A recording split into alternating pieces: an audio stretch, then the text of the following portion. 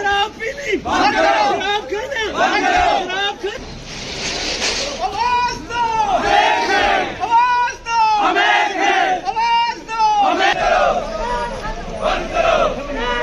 आवाज़ दो आवाज़ दो करना चाहिए। हमारी आने वाली नस्लें जो हैं वो पूरी नस्लें खराब हो जाएँगी। उनको बजाय रोज़गार की उसके शराब दे रहे हैं रोज़गार के उनको रोज़गार दो कि हमारी नस्लें कहीं लग सके।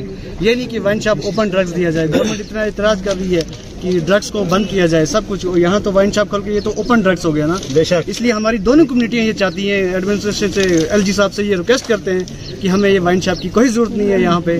हमें वाइन शॉप कहीं भी उड़ी में नहीं चाहिए। हमें इससे फ्री करें आप हमें वाइन शॉप की कोई भी ज़रूरत नहीं। ठीक है। बहुत बहुत शुक्रिया। नहीं देता है। मुसलमान को खुद इस चीज़ की रोक टोक करनी है।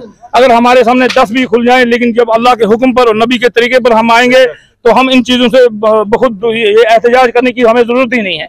लेकिन बदकस्मती से हमारा माहौल उस मैार का है ही नहीं। हम ना अल्लाह के हुक्म पर हैं और ना नबी के तरीकों पर हैं, जिसकी वजह से ये चीज़, ये मामला आते हैं। तो इसलिए हमारी हुकूमत से ये गुजारिश है कि आज की डेट में हुकूमत नशा मुक्त भारत कहती है।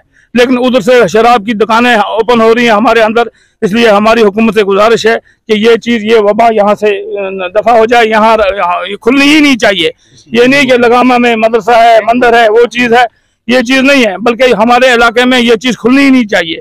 आज बेरोजगारी इतने अरूज पर है जिसका कोई शुमार नहीं है। बच्चे जो हैं, यंग जनरेशन डिप्रेशन का शिकार हैं। वो कोई ढूंढता है कि मुझे इजी कोई मामला मिल जाए ताकि मैं इसमें मुबतला हो जाऊँ। आज छुपते छिपाते वैसे भी यहाँ लोग अल्लाह माफ़ करे, हर गाँव के लोग कहीं ना कहीं पड़े होते हैं। हमें इस चीज़ पर भी, हमने अपने बच्चों को देखना है कि हमारे बच्चे के पास पैसा आ रहा है के पुरमन लोग हैं। हम बॉर्डरों पे आपके साथ खड़े रहने वाले लोग हैं। हम शाना बशाना हुकूमत का साथ देने वाले लोग हैं।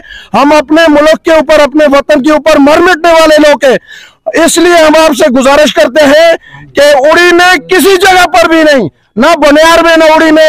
ये शराब की दुकानें बंद की जाए और अगर बात की जाए एडमिनिस्ट्रेशन से आपने रब्ता करने की कोशिश की थी। किए किए किए ले वो जी मगर कोई मानने के लिए तैयार नहीं होता है। इसलिए हम पुरजोर अपनी ब्राह्मण बरादरी बरादरी के बहुत मशहूर हैं जो सबसे पहले हमारे पंडित बरादरी वाले भाई माए बहने बाहर सड़क पे निकल कर आए। उसके बाद उन्होंने हमें भी उजागर किया। करना तो हमें चाहिए था मगर किया उन्होंने। उनके लिए मुबारक है। हम उनको इसका सिरा देते हैं।